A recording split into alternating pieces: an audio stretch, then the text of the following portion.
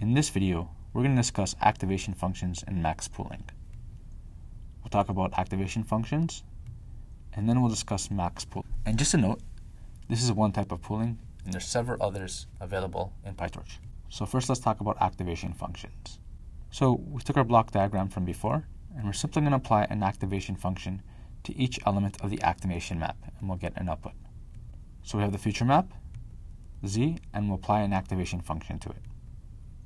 So let's do an example. We have our image in our kernel.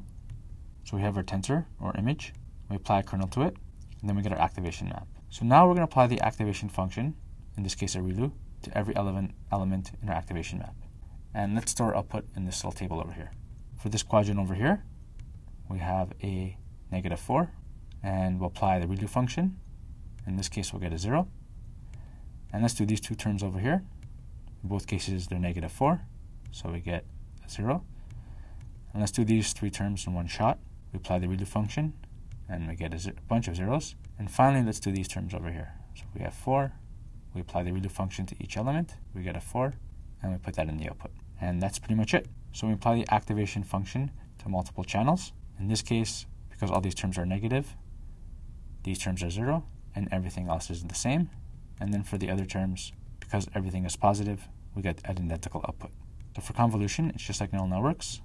We'll create an image, perform convolution, and then we'll apply the activation function and store it in the tensor A. Now let's discuss max pooling. So helpful analogy is to think of max pooling like convolution.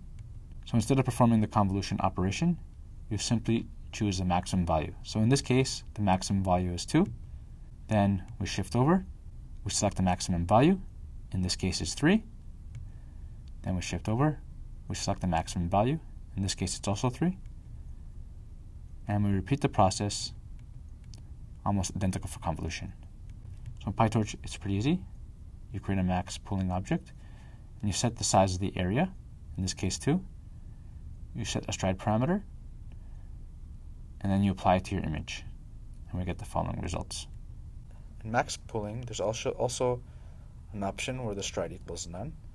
And all you do is you start with a particular region and you take the maximum value and then you move to the next region. So for example, if we move on the horizontal direction, the maximum value is 3 and then we move to the next region in the vertical direction and let's just shift to the other side and the maximum value is 2 and then we switch to the next region and in this case the maximum value is 3.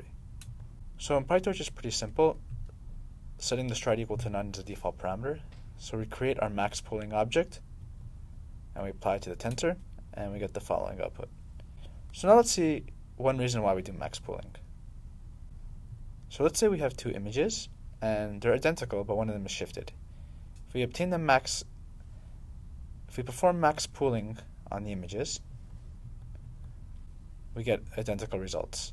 So it helps to deal with shifts in the image. And there's other reasons, like reducing the number of parameters in your model. And that's it for this section.